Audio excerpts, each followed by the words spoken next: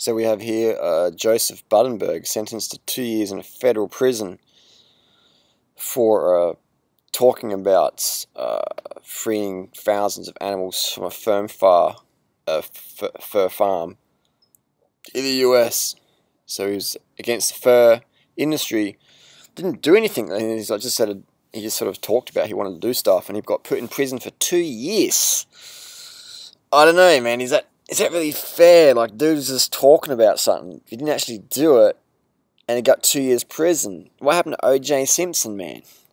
He fucking killed his wife with a fucking knife and fucking made mega dollars of it. And the Kardashians, the lawyer who represented O.J. Simpson, created the fucking the Kardashian freak shows. Like, how does what a fucking crazy world? You got some dude who cares about animals talks about stuff, didn't do anything, gets two years prison. You got O.J. Simpson kills someone, gets off, and his lawyer, Kardashian, whatever, sprouts the fucking Kardashian destruction across fucking all these millions of girls trying to fucking follow him.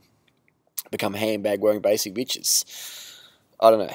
That just doesn't really make sense to me. What do you think down below? Let us know. Is, is that fair justice? You know, should the punishment be that harsh? Should fucking Kardashian? I think Kardashians could be in prison. Well, actually, let's make them in community service.